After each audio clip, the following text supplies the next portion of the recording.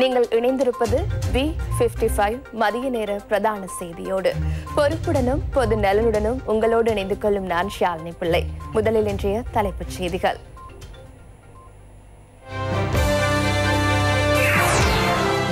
பல்கலைக்கழக விரிவுரையாளர்களின் பிரச்சினைகளுக்கு தீர்வு வழங்க தயாராகும் ஜனாதிபதி. பத்து வருடங்களின் பின்னர் டெங்கு திரி திரிவு நாடு முழுவதும்.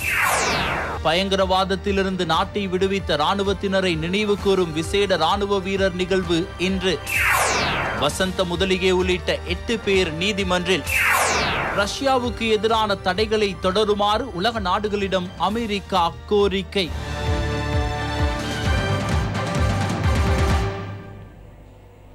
இனி விரிவான செய்திகள். தேசிய பாதுகாப்பு மாநாடு. ஜனாதிபதி ரணில் விக்ரமசிங்க தலைமையில் ஆரம்பிக்கப்பட்டது. இதேவேளை நாட்டின் பொருளாதாரத்தை ஸ்திரப்படுத்துவதற்கு பல்கலைக்கழக விரிவுரையாளர்களின் பிரச்சினைகளும் தீர்க்கப்பட வேண்டும் என ஜனாதிபதி சுட்டிக்காட்டியுள்ளார். ஜனாதிபதிக்கும் பல்கலைக்கழக விரிவுரையாளர் சங்கத்திற்கும் இடையில் கலந்துரையாடல் ஒன்று ஜனாதிபதி செயலகத்தில் இடம்பெற்றது. பொருளாதார நெருக்கடிக்கு மத்தியில் பல்கலைக்கழகங்களை நடத்தி செல்லுதல் மற்றும் விரிவுரையாளர்கள் முகம் கொடுத்துள்ள பிரச்சினைகளுக்கு தீர்வை கண்டறிவதே இதன் நோக்கமாகும். பல்கலைக்கழக கட்டமைப்பின் அத்தியாவசிய வெற்றிடத்தை நிரப்புவதற்காக அமைச்சரவையில் பிரேரணை ஒன்றை சமர்ப்பிக்குமாறு ஜனாதிபதி இதன்போது ஆலோசனை வழங்கினார். கல்வி அமைச்சர் சுசில் பிரேமஜெயன் ஜனாதிபதி செயலாளர் சமன் ஏக்கநாயக்க உள்ளிட்டோர் இதில் கலந்து கொண்டனர். உலக வங்கி எமக்கு வழங்கியுள்ள நிதியை பகிர்ந்தளிப்பது தொடர்பில் தீர்மானங்களை எடுக்க வேண்டும். சில திட்டங்களை நீக்க வேண்டியுள்ளது. ஊதியம் தொடர்பில் மாற்று யோசனைகளை முன்வைப்பது தொடர்பில் நாம் கலந்துரையாடல்களை மேற்கொண்டுள்ளோம். தொழிற்சங்கங்கள் முன்வைத்துள்ள கோரிக்கைகளை நிறைவேற்றுவதற்கு முன்னர் தேசிய கடனை மறுசீரமைப்பதற்கான தேவை எமக்குள்ளது. அது மாத்திரமன்றி வங்கி கட்டமைப்பை மறுசீரமைப்பதற்கான தேவையும் உள்ளது. தேசிய கடன் மறுசீரமைப்பை மேற்கொள்ளாது. பேச்சுவார்த்தைகளை எம்மால் முன்னெடுக்க முடியாது. செப்டம்பர் மாதமளவில் இந்த பிரச்சனைக்கு தீர்வு கண்டு வங்குரோத்து தொடர்பில் காணப்படும் தீர்மானத்தை நீக்கிக் கொள்ள வேண்டும் இதேவேளை தேசிய பாதுகாப்பு மாநாடு ஜனாதிபதி தலைமையில் கொத்தலவெல பாதுகாப்பு கல்லூரியில் ஆரம்பிக்கப்பட்டது.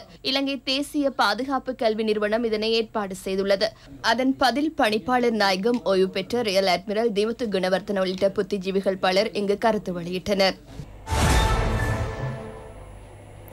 டெங்கு வைரஸ் திரிவுக்குட்பட்ட அபாயகரமான டென் த்ரீ திரிவு பத்து வருடங்களுக்கு பின்னர் நாட்டில் பரவியுள்ளதாக சுகாதார பிரிவு தெரிவித்துள்ளது. மேல் மாகாணத்தில் அதிக டெங்கு நோயாளர்கள் கம்பஹா மாவட்டத்திலேயே பதிவாகியுள்ளனர். கம்பஹாவில் ஏழாயிரத்து தொள்ளாயிரத்து நான்கு நோயாளர்களும் கொழும்பு மாவட்டத்தில் ஏழாயிரத்து முன்னூற்றி நாற்பத்தி எட்டு நோயாளர்களும் களுத்துறை மாவட்டத்தில் இரண்டாயிரத்து எண்பத்தி ஆறு நோயாளர்களும் அடையாளம் காணப்பட்டுள்ளனர். அத்துடன் திருகோணமலை மாவட்டத்தில் ஆயிரத்தி நானூற்றி முப்பத்தி ஒன்பது டெங்கு நோயாளர்களும் மட்டக்களப்பில் ஆயிரத்தி நானூற்றி தொன்னூற்றி மூன்று நோயாளர்களும் புத்தளத்தில் இரண்டாயிரத்து நானூற்றி எழுபத்தி மூன்று டெங்கு நோயாளர்களும் அடையாளம் காணப்பட்டுள்ளனர். கண்டி ரத்னபுரி காலி ஆகிய மாவட்டங்களில் தற்போது குறிப்பிடத்தக்க அளவு டெங்கு நோயாளர்கள் பதிவாகியுள்ளனர். இதேவேளை கொழும்பு மாவட்டத்தில் டெங்கு அதிக அபாயமிக்க பதினான்கு சுகாதார வைத்திய அதிகாரி பிரிவுகள் பெயரிடப்பட்டுள்ளன. தேகிவள பிளியந்தல ஹோமாகம கடுவல மகரகம மொரட்டுவ கொத்தட்டுவ பத்ரமுல்ல ரத்மலான எகுடோயன ஹங்வெல்ல கொழும்பு மாநகர எல்லைக்குட்பட்ட டி நான்கு மற்றும் டி ஐந்து பிரதேசங்கள் கொலனாவ மற்றும் பிட்டக்கோட்டை ஆகிய பகுதிகள் இதில் உள்ளடங்குகின்றன. அதேபோல் கம்பகா மாவட்டத்தில் அதிக டெங்கு அபாயமுள்ள பதினான்கு சுகாதார வைத்திய அதிகாரி பிரிவுகள் அடையாளம் காணப்பட்டுள்ளன. அத்தனகல்ல பியகம திவுலப்பிட்டிய கம்பகா ஜாயல கட்டான கலனி தொம்பே மகர நீர்கொழும்பு மினுவாங்கொட மீரிகம ராகம வத்தலை ஆகிய பிரிவுகள் டெங்கு அபாயம் அதிகமுள்ள வலயங்களாக பிரகடனப்படுத்தப்பட்டுள்ளன. களுத்துறை மாவட்டத்தில் பாணந்துறை சுகாதார வைத்திய அதிகாரி பிரிவு ஹொரண பேருவல இங்கிரியா ஆகிய இடங்கள் டெங்கு அபாயமிக்க பிரதேசங்களாக அடையாளம் காணப்பட்டுள்ளன.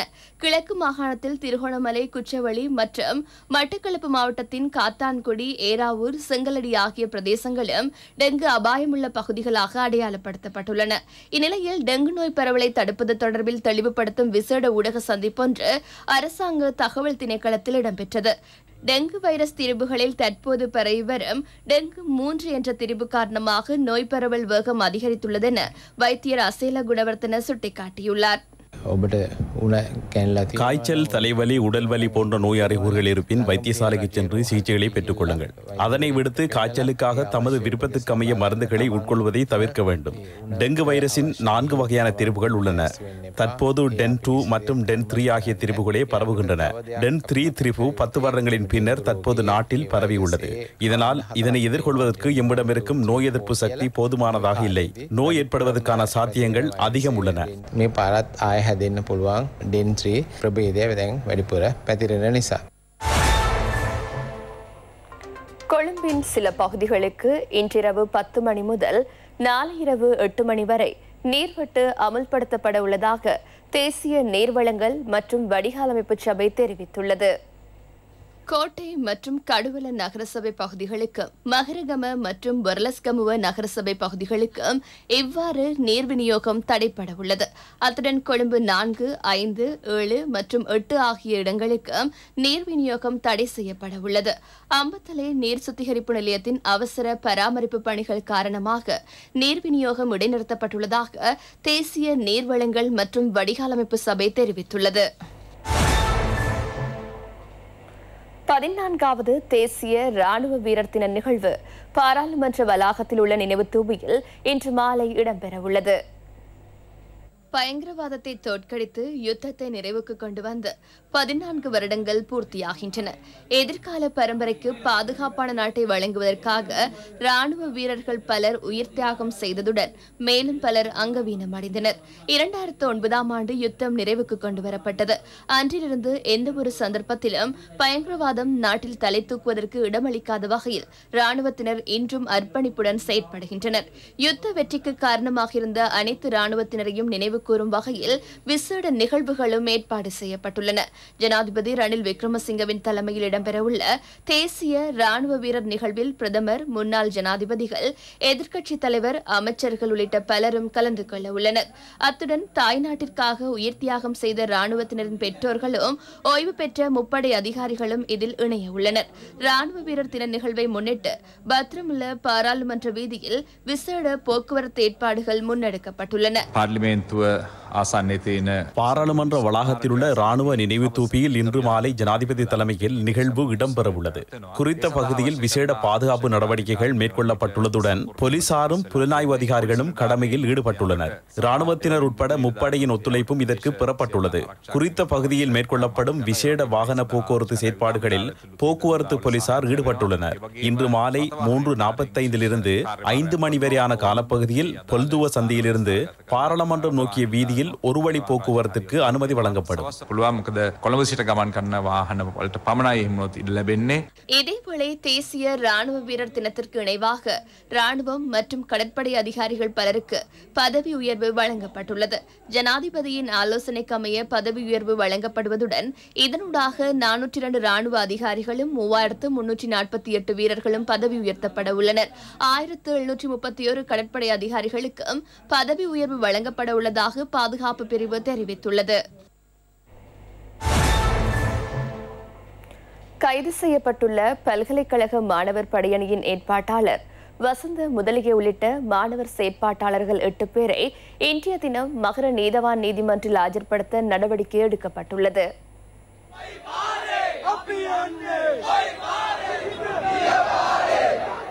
கலனி பல்கலைக்கழகத்தின் மாணவர் சங்கம் நடத்திய ஆர்ப்பாட்டத்தின் போது வசந்த முதலிகை உள்ளிட்ட சிலர் நேற்றிரவு கைது செய்யப்பட்டனர்.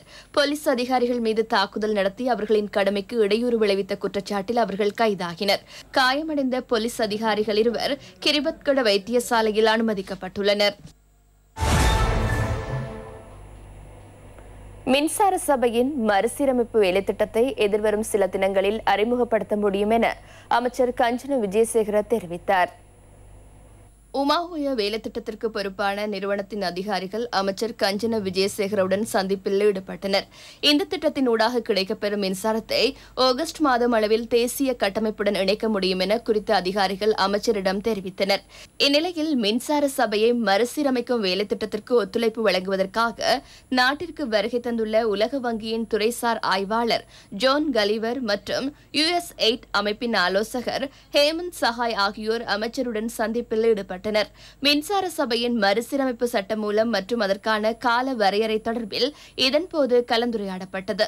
மின்சார சபை மறுசீரமைப்பு குழுவின் உறுப்பினர்கள் மற்றும் உலக வங்கி ஆசிய அபிவிருத்தி வங்கி யுஎஸ் எயிட் மற்றும் ஜெய்கா உள்ளிட்ட நிறுவனங்களின் ஊடாக நியமிக்கப்பட்டுள்ள அதிகாரிகளுடன் தொழில்நுட்ப ஒத்துழைப்பு மற்றும் ஆலோசனைகளை பெறுவது தொடர்பிலும் கலந்துரையாடல்கள் இடம்பெறவுள்ளன இதற்கமைய எதிர்வரும் சில தினங்களில் மின்சார சபை சட்டமூலத்தின் செயற்பாடுகளை நிறைவு செய்வதற்கும் மறுசீரமைப்பு வேலை வேலைத்திட்டங்களை அறிமுகப்படுத்துவதற்கும் சந்தர்ப்பம் கிடைக்கும் என அமைச்சர் கஞ்சன விஜயசேகர தெரிவித்துள்ளார்.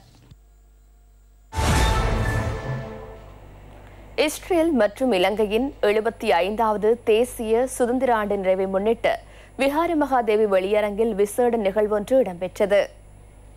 இஸ்ரேல் இலங்கை ஒன்றிணைந்த அமைப்பினால் நிகழ்வு ஏற்பாடு செய்யப்பட்டிருந்தது. சர்வமத தலைவர்கள் உட்பட விசேட அதிதிகள் பலர் இதில் கலந்து கொண்டனர். இரு நாடுகளுக்கும் இடையிலான ராஜதந்திர உறவுகளை பலப்படுத்தி ஒத்துழைப்பை மேம்படுத்தும் நோக்கில் இந்த நிகழ்வு ஏற்பாடு செய்யப்பட்டிருந்தது.